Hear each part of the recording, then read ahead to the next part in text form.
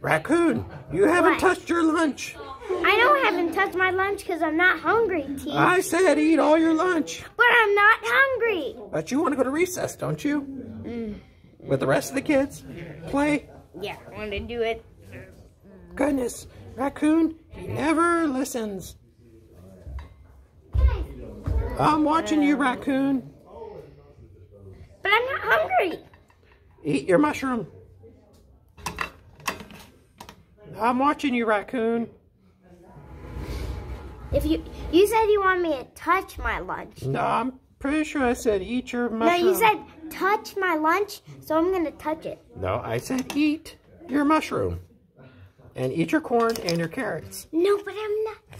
How many Uh. times do I need to tell you? I'm not hungry. I'm telling you right now, if you want to go outside and play, you need to eat your carrots. Uh, do I have to eat only one food or?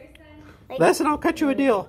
You eat your carrots and your mushroom, and you go outside and play. okay. Something I'm hungry for is you. Ah, ah, ah, I probably got rabies now.